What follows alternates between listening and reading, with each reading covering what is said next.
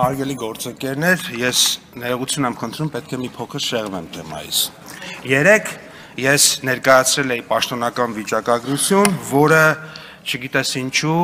որոշ մեդիա միջոցներով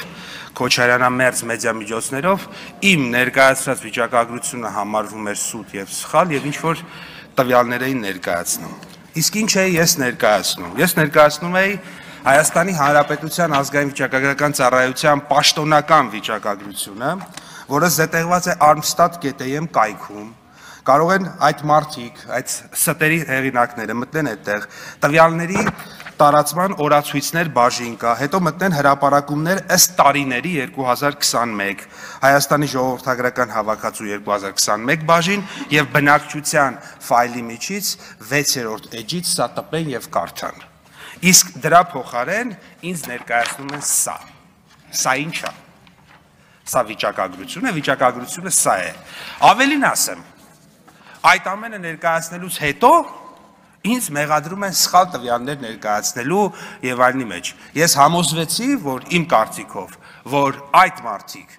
ոչ թե չգիտեն, այլ միտումնավոր կեղծիք են տարածում եւ եթե Մարկ Տվենի հայտնի ստի դասակարգումով շարժվենք, ապա կարող ենք ասել կա սուտ, կա լկտի սուտ եւ կա քոչարանամերձ մեդիա։ Հաջորդ ելույթի համար Արծուկ Մինասյան։ Խմբակցության անունից ելույթ կունենա Արթուր Հովանեսյան, համեցեք Բարտմանս։ Բարի լույս ելի հայրենակիցներ, հարգելի գործընկերներ։ Ես ուզում եմ անդրադառնալ Երևանից, երեք այս ամբիոնում տեղի ունեցած խոսակցություններին, եզրույթներին օգտագործված բառամթերքին եւ հետո նաեւ մամուլում շարունակվող երևույթներին արշավ է սկսվել Հայաստանի Հանրապետության կողմից Թուրքիայի հետ բանակցելու մեր ներկայացուցիչի դեմ, պարոն Ռուբինյանի դեմ, եւ սա արշավ է ոչ թե քաղաքացիական պայմանագիր կուսակցության անդամ Ռուբեն Ռուբինյանի, ազգային ժողովի նախագահի տեղակալ Ռուբեն Ռուբինյանի, այլ Հայաստանի Հանրապետության ներկայացուցիչի դեմ, ասել է թե Հայաստանի Հանրապետության դեմ։ Ում է ձեռք տալիս արշավ սկսել Հայաստանի Հանրապետության դեմ ելում բացի թուրքական ազդեցության գործակալներից կամ այլ օտարերկրյա ազդեցությունների գործակալներից։ Ում է ձեռք տալիս, օրինակ, պատերազմի օրերին ամեն ինչ անել, որպեսի տանկերը շրջվեն դեպի Երևան։ Ելում բացի ադրբեջանական կամ թուրքական ազդեցության գործակալներից։ Ում է ձեռք տալիս պատերազմից հետո իր, իրենց հետ փոխկապակցված մարդկանց ներկայությամբ ավիրել պետական կառույցները, շենքերը եւ այլն։ Էլում բացի թուրքական կամ ադրբեջանական ազդեցության գործակալներից ում է ձեռք տալիս գենշտաբի զինվորականներին հանել պետության դեմ, էլում բացի թուրքական ազդեցության գործակալներից։ Ում է ձեռք տալիս կասկածի տակ դնել ժողովրդավարությունը եւ այլն եւ այլն։ Էլում բացի Հայաստանի շահերի դեմ գործող օտարերկրյա ազդեցության գործակալներից։ Եվ վերջապես կրկին, ում է ձեռք տալիս ում է ձեռք տալիս ամեն ինչ անել վարկաբեկելու Ռուբեն Ռուբինյանին, ասել է թե Հայաստանի Հանրապետության ներկայացուցչին Թուրքիայի հետ նոր սկսվող բանակցություններում եւ կարգավորման այս գործընթացում ելում, բացի օտարերկրյա ազդեցության գործակալներից։ Եվ ուրեմն ես հարց ունեմ, հարգելի գործընկերներ, կարողա դուք օտարերկրյա ազդեցության գործակալներ եք։ Այս հարցը վերցրեք եւ պատասխանեք այս հարցին եւ հիմնավոր, որովհետեւ ըստ էության ես հիմնավորեցի եւ մեր հայրենակիցների համար էլ շատ հիմնավոր են այն կասկածները, որոնք կան իմ մոտ, կան իմ գործընկերների մոտ եւ կան մեր բնակության մեծամասնության մոտ։ Շնորհակալություն։ Շնորհակալություն երկու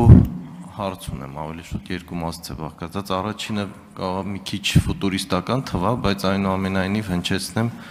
հաշվի առնելով վերջի զարգացումներն աշխարհում հատկապես։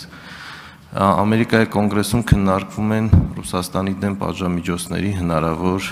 նոր փաթեթ եւ փաթեթի առանցքում Ամենայն դեպս մասնագետներով եւ կոնգրեսականներով քննարկում եմ SWIFT համակարգից Ռուսաստան անջատելու հերանեկարը։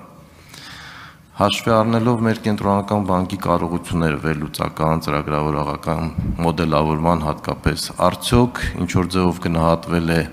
նմանատիպ հերանեկարի ազդեցությունը մեր բանկային համակարգի վրա եւ հնարավորություններ, արդյոք դա կարող է ինչ որ եթե նմանատիպ քայլի դիմեն ինչ որ խնդիրներ, խոչընդոտներ կամ ինչ որ խնդիրներ առաջացնի նաև մեզ մոտ։ եթե Ռուսաստանը անջատվի։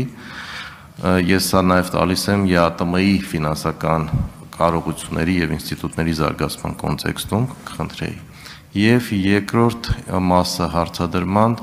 Կենտրոնական բանկը այսօր նաև ապահովագրական ոլորտի մեր կարգավորող մարմինն է, եթե ճիշտ եմ հիշում, կարծեմ ոչ բան չի փոխվել։ Կուզենայի նաև ձեր կարծիքը լսել առողջապահության ոլորտի հետագա ապահովագրական զարգացման, ապահովագրության զարգացման, որ մոդելն է այնուամենայնիվ դուք տեսնում ավելի ռացիոնալ, ավելի ճշգրիտ եւ արդյունավետ այսօրվա տնտեսական պայմաններում Հայաստանի։ Շնորհակալ։ Շնորհակալություն պարոն Գևորգյան հարցերի համար։ Իհարկե Ռուսաստանի Դաշնությունը որպես հիմնական տնտեսական պարտնյոր ցանկացած շոկեր մենք գնահատում ենք պրոյեկտելով Հայաստանի տնտեսության վրա 2014 թվականի մեծ արժութային շոկը էական ազդեցություն ունեցավ, երբ որ աշխարհի մնացած մասում ճգնաժամ չկար, բայց կոնկրետ ռուսական ճգնաժամը մեր վրա էականորեն ազդեց։ SWIFT-ի հետ կապված սահմանափակումները ռուսական ընկերությունների շատ մեծ էական բաներ են փոխելու տարածաշրջանում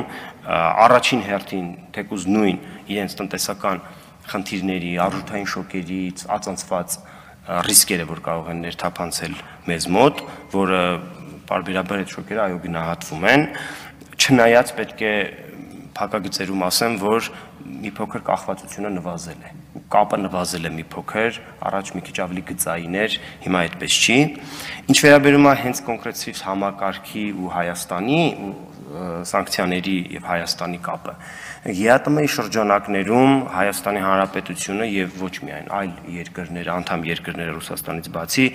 ամեն կերպ ցանկացած նախաձեռնություններում, հակասանկցիաներ, ցանկացած ոլորտում, այսպես չգրված կոնսենսուս կա, որ հնարավորինս ամեն ինչ արվում է, որ սանկցիաների պարագայում այլ երկրներ, ասենք Ղազախստանը ու Հայաստանը չհայտնվեն սանկցիաների մեջ ու բացի աշխարհակաղակական նկարտումներից ուրիշ պատճառներ չկան, որ կարող են այդ սանկցիաները ավտոմատ կերպով մյուս երկրների վրա տարածվել հույս ունենք, որովհետև դա իրականում էական բան է, ամեն որոշակի այլընտրանքներ SWIFT-ին ստեղծվում են ժամանակի ընթացքում, Ռուսաստանի Դաշնությունը Չինաստանի հետ, այլ երկրների հետ վճարային համակարգերի մասով ոչ միայն SWIFT-ի քարտային վճարային համակարգերի մասով այլընտրանքներ են ստեղծվում, բայց ամեն դեպքում SWIFT-ը դա գլոբալ է ապահովագրական ոլորտի հետ կապված առողջության ապահովագրության ես կարծում եմ որ մեր առողջության ապահով մեր ընդհանրապես ապահովագրական համակարգի ապահովագրական ընկերություններ, բյուրո, այնտեղ կան